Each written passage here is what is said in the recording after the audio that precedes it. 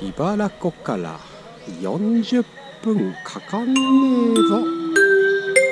あれ？何しに来たの？そうなんですそうなんです。またドリフト遊びに来てしまいました。まあねちょっとだけ遊べればいいんですメガサブさん。人の車なんでね。壊すわけにはいかない。しばっちくんのしばっちくん。なんで今回来たかというとしばっちくんの車が機械式のデフが入ったんですよね。恥ずかしいんですか？嫁募集中です。募集 しないんですか？機械式入ったっていうもんだから来てみたよ。で今回機械式でこれ走った後この次食っときまでねああもう足回りちょっと固くしろってなんだってこの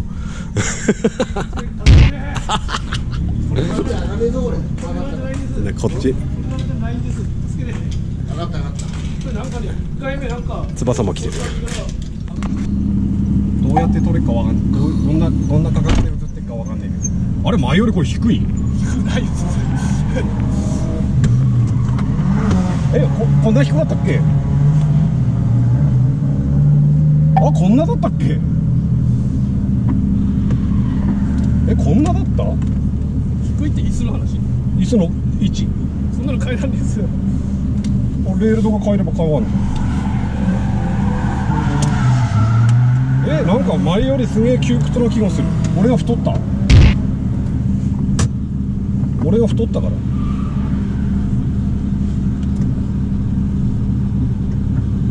ンジン壊され前より狭くね？演奏しないでよ俺前より狭い気すんの？ハンドルが狭い。ねうん。ハンドルはこう動くよ。あそうどれだけこれか。ここら辺にあるやつ。えー、その方がいいの？そんなもんでしょうよ。その方がいいの？何台行ったの？危ない人ら何台行ったの？いやとりあえず普通に運転できるかだけやっとんねんえー、ストップえー、ストップ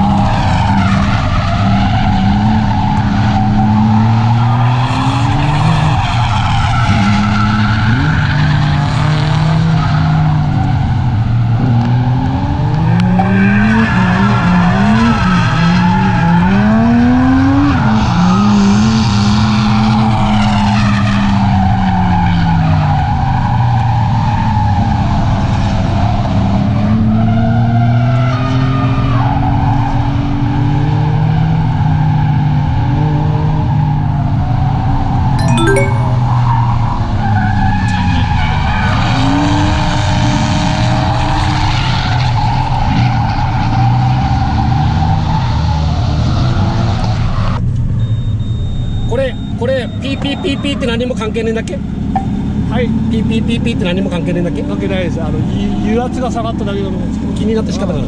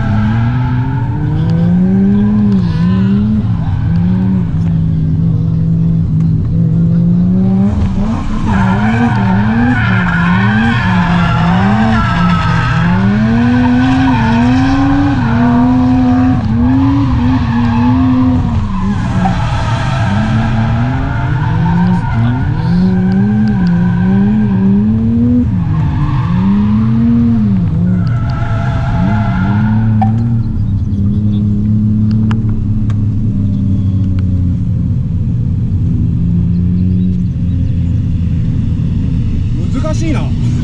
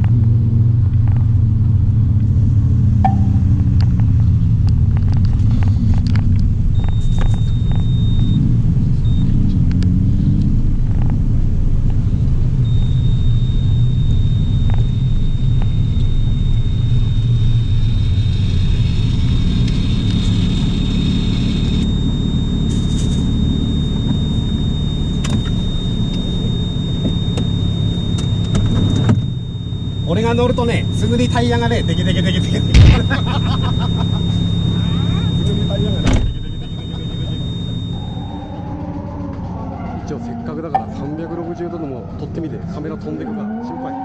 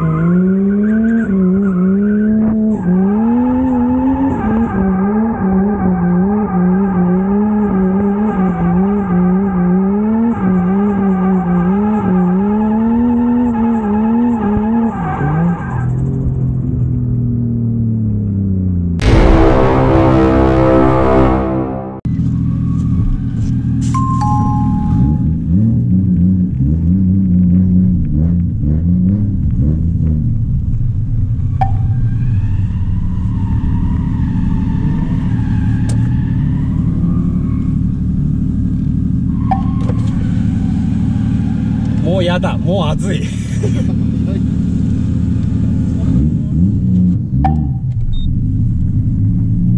とりあえず一つのコーナーだけをサイドブレーキブレーキングクラッチ蹴りの3つの入り方でやります。しばっちのしばっちに後で動画で教えるため。一番最初は一番最初はサイドブレーキ。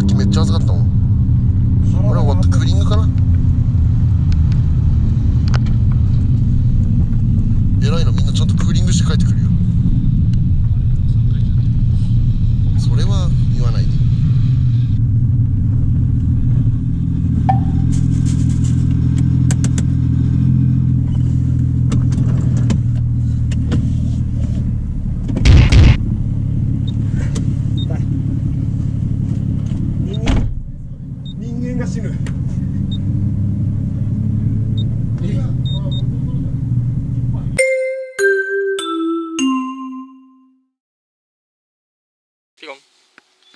ご視聴ありがとうございました。チャンネル登録はこちら。ね気になる動画はこちら。ねよかったらチャンネル登録よろしくお願い申し上げます。それを入れようと思って。